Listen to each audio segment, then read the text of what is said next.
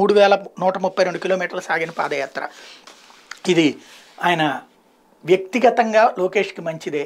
But record పరంగా జగన్ రికార్డును బద్దలు కొడదాం అనుకున్నటువంటి లోకేష్ ఆ రికార్డును మధ్యలోనే వదిలేయడం అన్నటువంటిదే ఇక్కడ కీలకమైనటువంటి పరిణామం. లేకపోతే పార్లమెంట్ అలజడి తీవ్రమైన అంశం.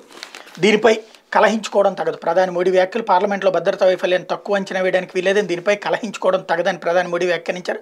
ఘటనపై దర్యాప్తు సంస్థలు విచారణ జరుగుతున్నాయని కఠిన చర్యలకు ఉపక్రమించాయని చెప్పారు. ఈ అంశంపై చర్చించాల్సిందని ఉభయ సభల్లో ప్రతిపక్షాలు డిమాండ్ చేస్తున్న నేపథ్యంలో పత్రిక ఇచ్చిన ఇంటర్వ్యూలో ఆయన చేసిన ఈ వ్యాఖ్యలు ప్రాధాన్యత సంతరించుకున్నాయి. పార్లమెంట్లో భద్రతా వైఫల్యం చోటు చేసుకోవడం ఎంతో బాధించింది. దీన్ని తక్కువగా అంచనా వేయకూడదు. ఇట్లాంటి పునరావృతం కాకుండా మూలాల్లోకి వెళ్ళి పరిష్కారం కనుగొనాలి.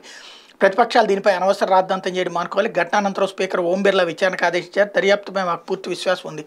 ఈ కుట్ర వెనక నిజాలు త్వరలోనే బయటపడతాయని ప్రధాని పేర్కొన్నారు. మధ్యప్రదేశ్ రాజస్థాన్ ఛత్తీస్గఢ్ సీఎంలుగా కొత్త వారిని ఎంపిక చేయడంపై ప్రధాని మాట్లాడుతూ మూడు రాష్ట్రాల సీఎంలు కొత్త వారిని చాలామంది భావిస్తున్నారు. నిజానికి వారు కొత్త వాళ్ళేం కాదు ఎంతో అనుభవం ఉంది.